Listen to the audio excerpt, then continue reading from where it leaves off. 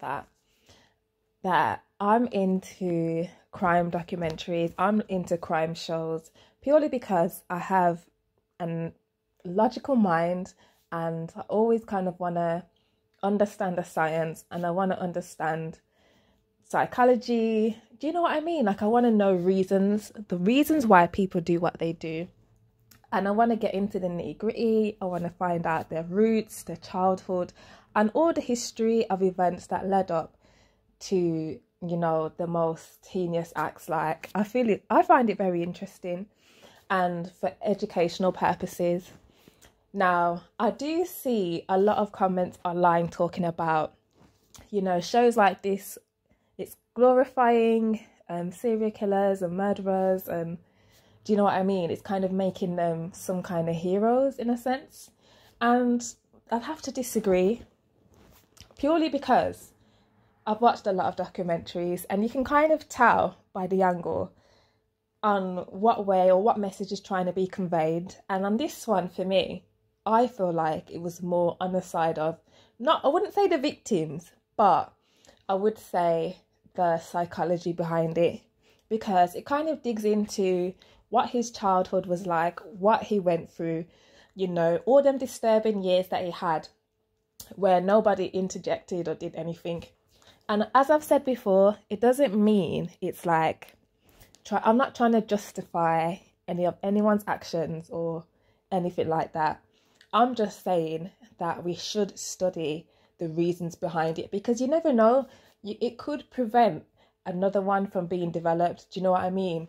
Because there are a lot of alarming mutual telling signs. And if you know your stuff, you know that Jeffrey Dahmer is not.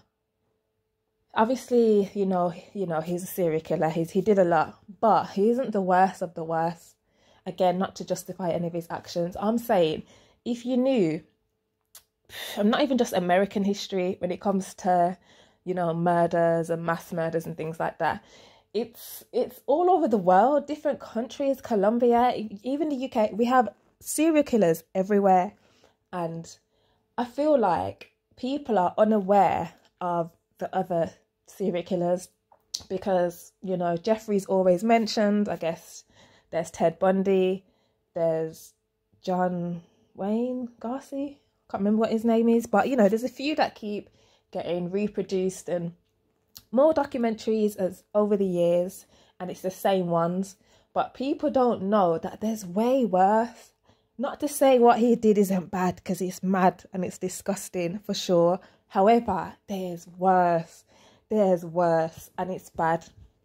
And for me, I feel like the documentary highlights, I would say, the way that the com- not the community, okay, the way that the police force definitely failed the victims for one, and I feel like it also highlights what an unusual because this, this guy was weird. He's on he's unusual. He's he was not normal. Like he was not just like your regular everyday business, you know, working guy with, you know, a wife and a family or a husband and kids if that's the way he wanted to go. Yes, we know he was gay. It's like he wasn't that guy. He was a weird guy. Do you know what I mean? He didn't have any friends. He was socially awkward and he behaved erratically. So it highlights that a white man a gay white man back in them times, not even that long ago, you know. What we're talking, 1970s, 1980s. Is that what we're talking? 1990s. It's like, that's not that long ago. And for me, it really highlights that what a weird person can do, what a weird white man in society back then could get away with in front of the police, in front of everybody, because it went on for so long. It went on for so long, over a decade, if I'm not mistaken. And it's like, we have to look at it from that angle. Nobody in the film or in the documentary is like clapping for this guy and talking about how amazing he was. It's truly highlighting all the failures that was allowed, or it's not even allowed, all the failures that just happened. You know, the police force, everybody involved is going to say it was accidental or it was institutional, or there's a reason why they failed. But there's so many failures along the way And it's very sad, but also interesting because you know what I'm not going to do?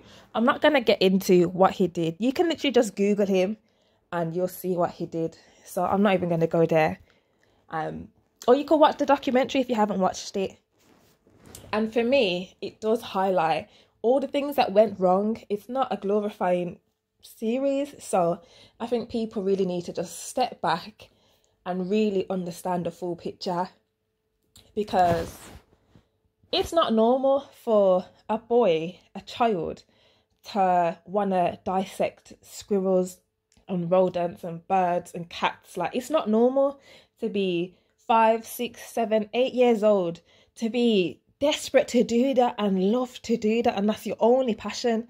Like, it's not normal for a kid to be trying to, you know, pick up dead animals and hide them under the floorboards and, and leave them there just to die and wither away. It isn't normal, but his parents watched him behave this way from a child all the way up into his 20s.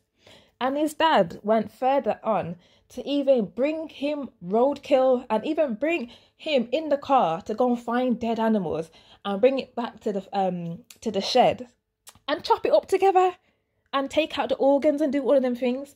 And then they're surprised now. His dad was acting surprised later on in life when they found out that he's obviously doing the same thing to humans. He's murdering men and he's dismembering their bodies and doing all kinds of things with the organs and everything else. And that's exactly what he was doing when he was a child. So for me, the signs are all there. That's not just the only thing. I'm not going to go into every single thing that I thought was telling signs. However, why would a dad, why would a father, why would a parent kind of feed into them weird fantasies and them weird hobbies? Why would you do that? And it's because they had so much going on in that household that the dad was just like, oh yeah, this is keeping him quiet. This is keeping him out of the way. So let him do that. But that's not not normal. That's weird. Do you know what I mean? And then he went on to grow up and he worked in the butchers for some time and he loved it in there and he was doing extra hours and not getting paid for it. That's weird as well because who loves working in the butchers like that that don't want to work there so much after hours and not get paid for it? That's how much, that's not normal. But again, that's a telling sign for me. I think that's weird. And his colleagues and his managers and the people that knew he was working there, they should have known or they should have picked up on that that's weird, that is strange. Even while he was in school, like he would be one of the only students enjoying dissecting, you know, the frog in the science lessons, trying to get extra lessons and taking the frogs home. Like, why is a teacher giving the, the kid um you know, dead animals to take home and cut off. Like, why would you do that as a teacher? Yes, you know, it's nice that he's interested in biology and science, but there's a line. You're not giving anyone else rats and shit to take home and dead animals. But this one child in school, you think it's a good idea to do that. So again, red flag, red fucking flag. And not only his dad failed him, I did mention the mum, but so obviously they had another child, like a he had so he had a younger brother, I think it was. And then obviously the mum and dad are going through problems. Dad's away at work, mum's like on drugs and all kinds of medications and do you know what I mean? Like it's it's it's a mess of a home. It's not stable. It's not happy. It's not loving and caring for the family. So when he's in college now, he comes home. I think he comes home early or something like that, and then he finds or he discovers his mum trying to sneak off with the younger brother, with his younger brother. He comes home, the car's packed up, boxes do you know what I mean? She's ready to go. And he's like, oh, yeah, wait for me. He's about to run inside and get his stuff. And his mom's like, oh, nah, nah. You stay here, fam. You ain't coming nowhere. You and your crazy... you and your crazy tail self are going to stay right here. And he's just shocked. He's just like, hold on. Do you know what I mean? I'm your son too. I don't want to be here by myself. I, I'm ready to go. Let's all go together. And she's like, oh, no, no, no, no. You stay here. So she just sped off now with the other brother and she never looked back these times his dad's in the next country. Dad doesn't know what's going on. His dad doesn't bother to find out. So now he's in the yard by himself. Nobody knows that he's just there looking after himself all of a sudden. Got no parents, got no guardians. So now he's just dissecting more and being more weird in that house all by himself. And it's like, hello. There's so many people that failed him, especially his family members. I'm sorry, I have to be honest. It's like now I don't have sympathy for him, sympathy for him before anyone starts with that shit. I'm just saying, as a child, when he was a child, the adults and the guardians and the parents, they all failed him. Period, point blank. And you know what I mean? If somebody wants to debate that or give me their opinion, I'm happy for it. In fact, put it in the comments if you've watched it. Let me know what you think about this because for some reason, this show is really controversial. If you lot knew about the other serial killers and the stuff that they did and how long they got away for and who their victims were, do you know what I mean? You you wouldn't be having this view on this. You'd understand that they're just highlighting the problems and the failures. But at the same time, in the same breath, I do think it's bad that these serial killers do, even when they pass or they whatever happens to them, they they get highlighted like it's part of history and it's. Do you know what I mean? But then that's just the way of the world. When big events happen, it just gets reported. This is the world that we live in. Do you know what I mean? It's not uncommon for a documentary or film to be made about events from the past so again, we can't really say they shouldn't do that. I do think they should contact the family members, uh, you know, of the victims because obviously they did highlight the victims in detail and show their pictures and talk about their age and talk about their life. So because of that aspect, they definitely should have contacted the victim's family. However, the documentary wasn't all bad. Now, I'm not encouraging people to go up and look up you know, serial killer documentaries because again, another angle would, I'd like to bring is that if your mind isn't able to process information or dissect information and then move on from it, then it wouldn't be good for you because again, it's like you're watching trauma, it's not good for you. You're watching a lot of violence, you're internalizing that. And if you're someone that can't move on from things and, you know, accept things for what they were and move past it, then again, it's not good for you to watch because you'll just give yourself nightmares. You'll make yourself anxious and scared of the world, and you don't want to do that either. So, if you feel like you're exposed to a lot of trauma every day, then don't watch this shit. Don't watch shit like that.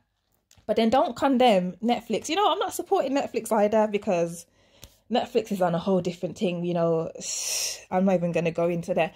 But you can't condemn Netflix for doing this documentary. Yes, they're capitalizing, they're making money off it. These actors and these actresses have to get paid for their performance. Yes, that's all true. However, the be all and end all and the or the message that you should have got from this documentary is the one that you're missing. I feel like it's talking about it's highlighting the neighbors as well, not only the failures, it's highlighting the people that tried to help the victims, the people that was all on, you know, on side for the victims, the people that was calling the police over and over and over again, the neighbors that were concerned for the smell, calling the count, calling everyone. They called everybody and nobody came. Do you know what I mean? To go back to my original point, I know I'm kind of going all over the place, but this is a kind of all over the place. Do you know what I mean? Experience. So just follow me, follow me through it. But but there's a lot to it and I don't want to make this video too long. But I feel like for people that are interested in the psychology behind things, yes, they should watch it. People that can handle it and people that don't internalize, you know, shows and horror and things like that.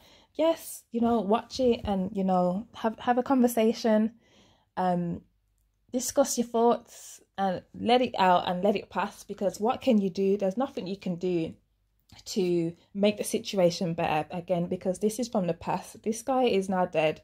He got killed in prison by another prisoner that didn't like the way he was going on in prison and how he was trying to boast. Not even boast because this was a weird guy. He was just trying to like act like what he did wasn't that bad. Like he's trying to make a joke of it. But again, he was a weird guy. Someone that does this stuff is not normal. It's a weird person. So it's it's normal for them to be comparing like food to organs and people and that. It's you know what I mean? Look at it was weird.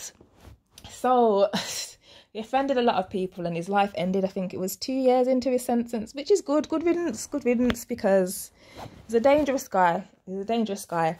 There would be no saving him, no healing him, no no facility would do him any good. It's that was the only way out for him, to be honest. And I don't feel bad about saying that either. I feel like anyone that harms children or anyone that you know that's a serial killer or is committing murders and doing the madness and for no reasons just moving wild yeah they should all be kept locked up and if they're not locked up they need to be in the dirt and that's the end of that but for me it also touches about how the mum was she was on like bare different medications and dealing with some kind of mental issues while she was pregnant with him with jeffrey and it so we've got to talk about the chemical imbalance that she probably passed on and the trauma for her stressed out life as a wife that she passed through to this child. Like I feel like we need to go deep into these things and this is why all I'm not saying this is the only reason and all of these things are the only things that contributed to his behavior. No, I'm not saying that, but I'm saying these factors were definitely played a part. They played a hell of a big part. Do you know what I mean? We can't say if this didn't happen, then he wouldn't have turned out like this. I ain't gonna say that, but I'm gonna say there was plenty of failures, and that ain't good.